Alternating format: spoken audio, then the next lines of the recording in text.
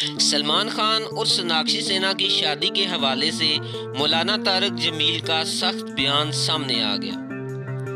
मुकम्मल तफसील जानने के लिए वीडियो को एंड तक देखें ताकि आपको मुकम्मल मालूम मिल सके। अगर चैनल पर पहली मरतबा हैं तो चैनल को सब्सक्राइब कर लें और साथ साथ वीडियो को एक लाइक भी कर दें। फ्रेंड, जैसा कि आप जानते हैं, सलमान खान और सोनाक्षी सेना बॉलीवुड के टॉप स्टार में से एक हैं। बताया जा रहा है कि सलमान खान और सोनाक्षी सिन्हा बहुत जल्द शादी करने का इरादा रखते हैं। सलमान खान और सोनाक्षी सिन्हा ने एक साथ बहुत सारी सुपर हिट फ़िल्में बनाई, जो कि ज़्यादातर सुपर हिट हुई। खबरें हैं कि सलमान खान और सोनाक्षी सिन्हा की शादी के हवाले से मौलाना तारक जमील साहब ने एक बहुत बड़ा बयान जारी किया है।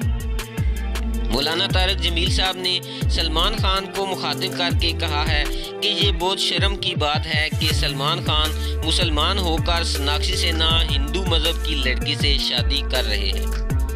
सलमान खान बेशक बॉलीवुड के किंग माने जाते हैं, लेकिन मुसलमान होने के नाते इन्हें इस बात का खास ख्याल रखना पड़ेगा कि अगर वो सोनाक्षी सेना के साथ सात फेरे लेकर शादी करते हैं तो ये बहुत ज़्यादा मज़हब के खिलाफ होगा।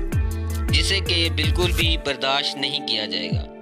सलमान खान को चाहिए कि वो मुसलमान होकर इस्लामी तौर तरीक़ों के मुताबिक अपनी शादी करें।